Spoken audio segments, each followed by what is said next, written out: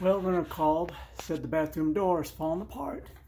And sure enough, it's falling apart. Look at here. Now we gotta figure out what we're gonna do about it. We're gonna put in a new door, or we're gonna fix it. I think we can fix it. Let's uh, take it off the hinge real quick, just a couple of screws, and see what we can do about it. So here's our situation. Here's the door.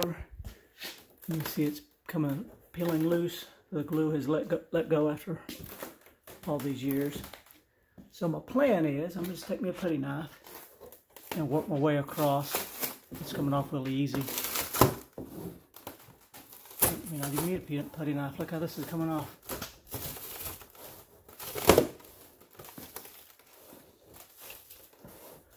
Let's get a little tight right there.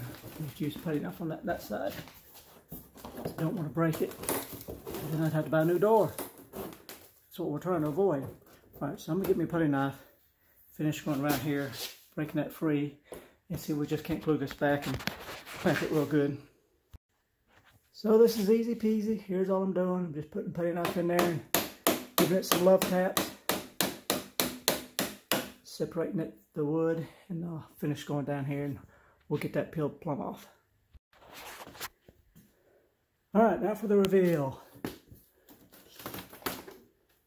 Ta-da! All right. So now let's get us some liquid nails, do some gluing.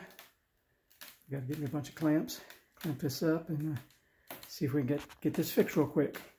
Well, there you go, easy peasy. Got me some liquid nails. Got a bead all the way around there.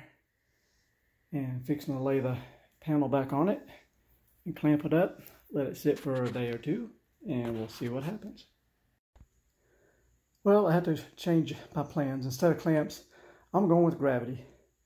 I didn't have enough clamps to go all the way around, so I've come up with plan B. I laid some nice clean cardboard down on the concrete, put me some heavy stuff all the way around the perimeter of it, let that sit there and let it, uh, get, let it dry, and then I'll hang the door. Well, it's been a day or two, and you see all this weight I stacked on the door to flatten it out. And of course, got uh, cardboard on the bottom, so it won't mar up the door. So I'm to lift all this stuff up, and we'll see how sturdy it is. All right, you remember before it's all separated, floppy loose. That's nice and strong sturdy. Fixing to hang, hang it up. Get that done. And here's the after. Remember how the door was all separating, falling apart. It's all loose. Now it's good and strong. It's good to go. So you can do the same. All you need is a tube of liquid nails a little patience. Fix that door. Don't replace it. Save that money. Thanks for watching. See you. Bye.